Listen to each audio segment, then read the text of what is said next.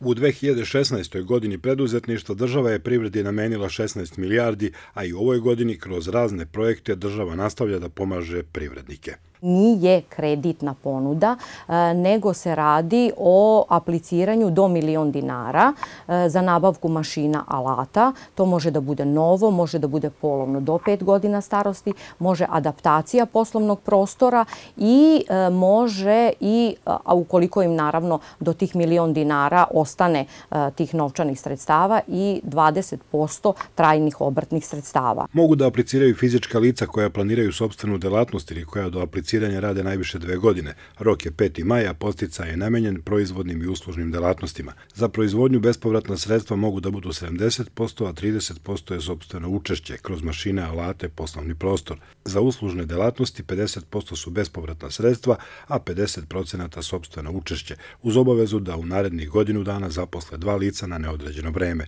Zahtevi se podnose regionalnoj razvojnoj agenciji SREM. Fond za razvoj Republike Srbije nudi takođe start-up kredite. 70% je kredit, a 30% bespovratno dodeljuje Ministarstvo privrede, kako za totalne početnike, tako i neko ko je registrovan e, e najdalje od 1.1.2016. godine.